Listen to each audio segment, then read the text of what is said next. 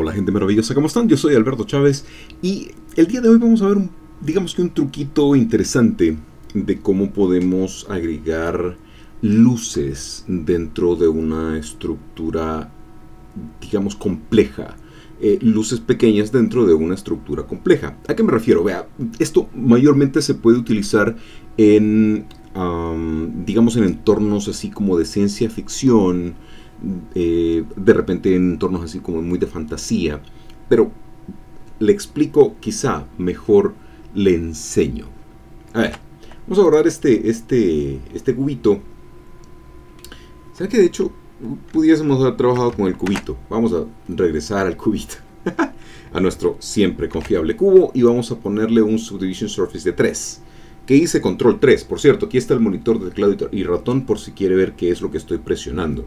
Algo importante, y antes de continuar, cambiemos de EV a Cycles. Y si lo tiene, pues un GPU Compute. ¿Por qué? Porque eh, esto funciona con Cycles, no con EV. Ya le explico por qué.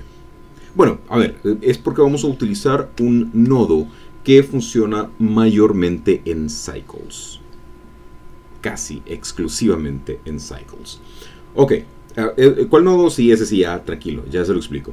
Le decía, vamos entonces a eh, el Subdivision Surface de 3 con control 3, como le decía, vamos a ponerle 3 en render también.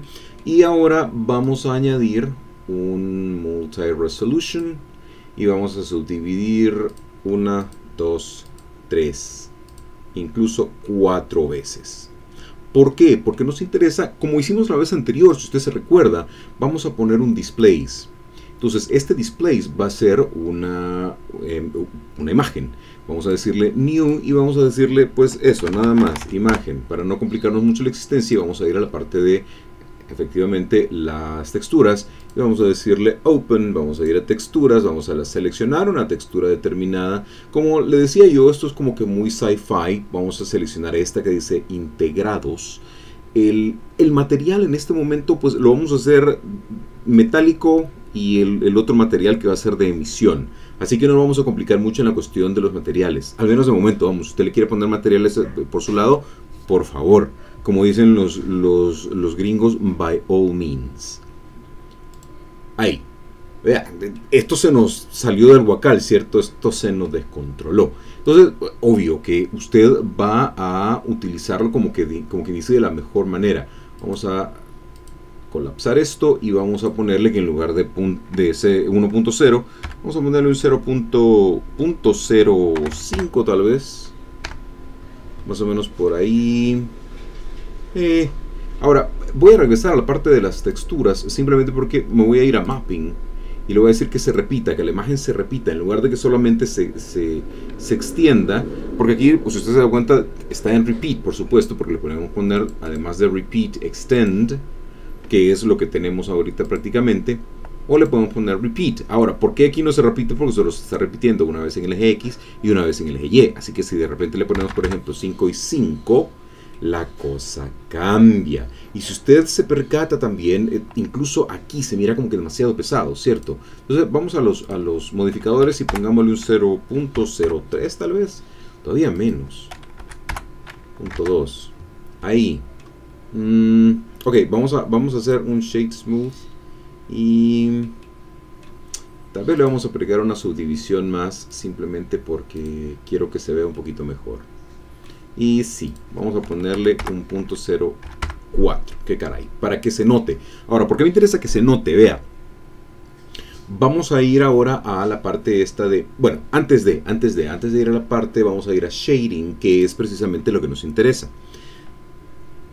Y aquí en Shading vamos a irnos aquí a la parte de el Preview. Le repito, en esos momentos la parte de materiales no es del todo importante, así que simplemente le vamos a decir que sea, qué sé yo, metálico. Eh, metálico, no sé, verdecito. Mm, no, quizá metálico y más negro, más oscuro, no negro, porque no, conviene eh, poner un material totalmente negro, ¿de acuerdo? Porque entonces eh, casi que se va a ver un material plano en muchas ocasiones. Difícilmente en esta, pero vamos, te capta. vamos a añadir otro shader que es de emission o de emisión. Y este le vamos a poner un... Ah, este pongo el verdecito, ¿sí? Un verdecito y vamos a ir un mix shader, por supuesto. Y ahí, solo que, ojo, importante, el emission lo vamos a poner arriba, ¿sí? Ahora, obvio que va a tomar la, precedencia simplemente porque, bueno, pues porque está arriba, ¿no? Obvio. Eh, pero, ojo, si lo ponemos debajo, igual se va a ver porque obviamente la parte de la emisión es lo que más nos, nos interesa. Ahora, como yo le decía, lo que nos interesa en estos momentos es prácticamente poner como que lucecitas en los pequeños huecos.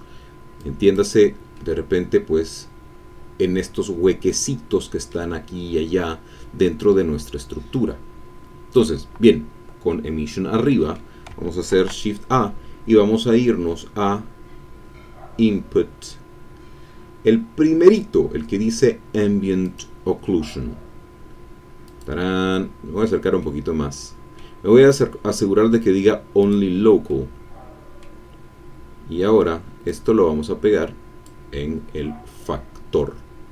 Ahora bien, ojo, esto es importante porque Aquí estamos eh, prácticamente que solo estamos dejando pasar cierta cantidad, pero no podemos automatizar lo que estamos dejando pasar. ¿Cierto? Entonces, para eso vamos a ir a Converter y vamos a agregar un Color Ramp. Entonces, he hecho esto, puedo, por ejemplo, ah, vamos a ver, vea. Con el slider blanco, del blanco, del color blanco, pues, yo lo acerco hacia el negro. voy a sacar un poquito a mi, a mi objeto y vea. Ah. Ah. Bonito, ¿cierto?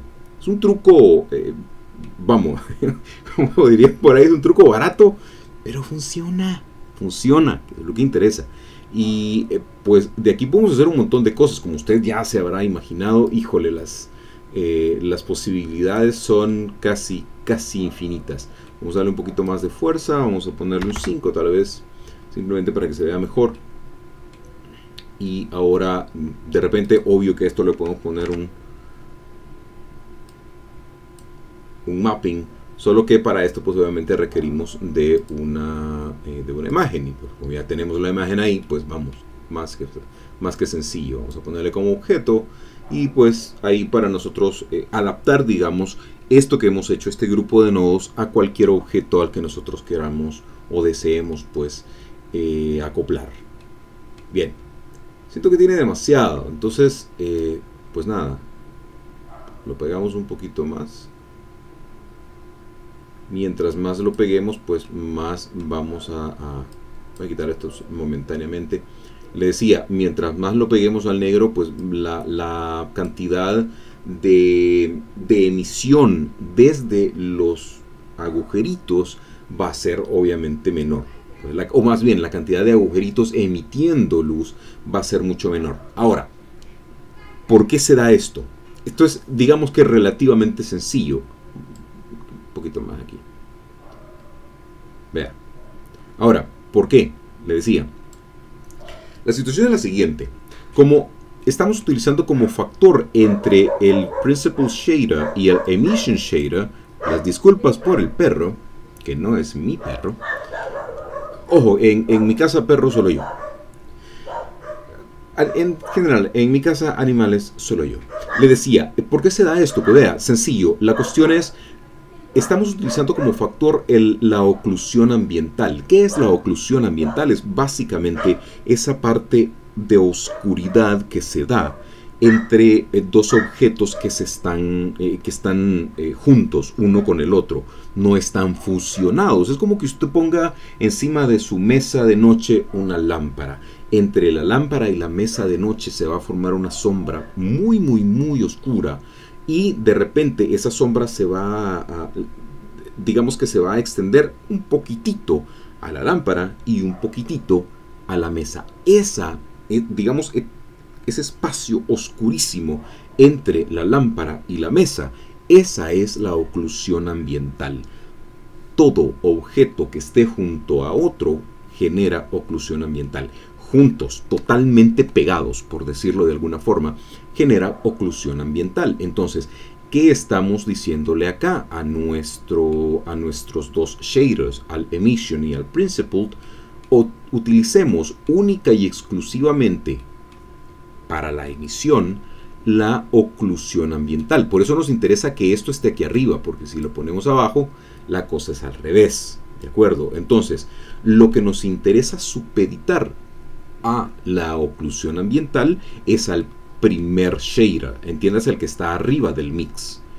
Así que por eso le ponemos ambient occlusion y porque le ponemos el color ramp. Ahora, digamos que la parte del mapping incluso podríamos deshacernos de ella sin problema. Esto repito, solo para que si usted se quiere llevar este grupo de nodos a otro objeto, a otro archivo, pues ya tiene, simplemente le tiene que cambiar aquí la imagen que va a utilizar.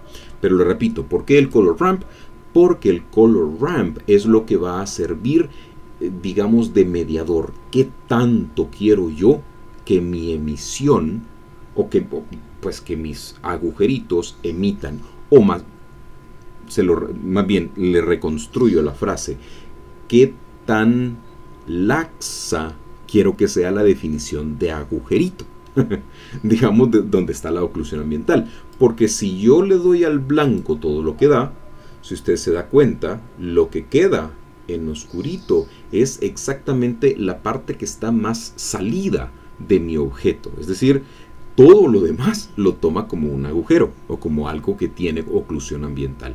Por eso que nos interesa dejarlo como que lo más pegado al negro posible, si es que es esa nuestra intención. Si la cuestión es al revés, pues entonces obvio que pues déjele todo el blanco y nada más modifique el negro. ¿Por qué? Porque mientras más cerca del blanco esté, menos será la parte que no tiene emisión.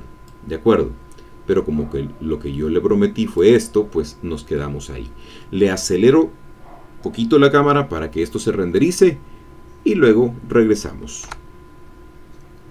En lo que, por supuesto, esto se empieza a renderizar y en lo que yo le empiezo a acelerar, eh, pues le comento, si usted quiere el archivo .blend de esto que hemos eh, hablado el día de hoy, pues lléguese al blog, diseño libre, esto es Aguatemala 2, S2 es en números, .blogspot.com para tomarlo de ahí. Va a haber un enlace de descarga. Sabe que antes de eso vamos a hacer una última cosa, un par de últimas cosas para ser más exactos. Lo primero es, vamos a irnos un poquito al compositing y vamos a decirle use notes. voy a venir para acá y eh, voy a agregar shift a un filtro glare lo pongo ahí y me interesa poner voy a, voy a poner acá el visor para que también veamos qué es lo que estoy agregando vea eso me voy a acercar con control ups con, con ¿qué no era control V? o solo era V yo no lo recuerdo o era shift alt ah alt V perdón Ok, me voy a acercar un poquito solo para que vea. Eh, le decía, uh, interactions, podemos hacerlo 3, podemos hacerlo 4, todo depende de la calidad con la que lo necesitemos. Los streaks, bueno, de hecho, no quiero streaks, quiero un fog glow. Y... ¿Era fog glow? Sí, sí, sí, era fog glow. Y vamos a incrementar un poco el mix y vamos a disminuir el umbral. O, como dicen los señores de habla inglesa, el threshold el tamaño puedo incrementarlo para que sea más brillante o puedo eh, ponerlo hacia abajo, pues decrementarlo. No sé si esa palabra existe en español, eh, pero digamos que sí, de momento, y digamos que existe decrementar, simplemente para que tenga un poquito más de brillo.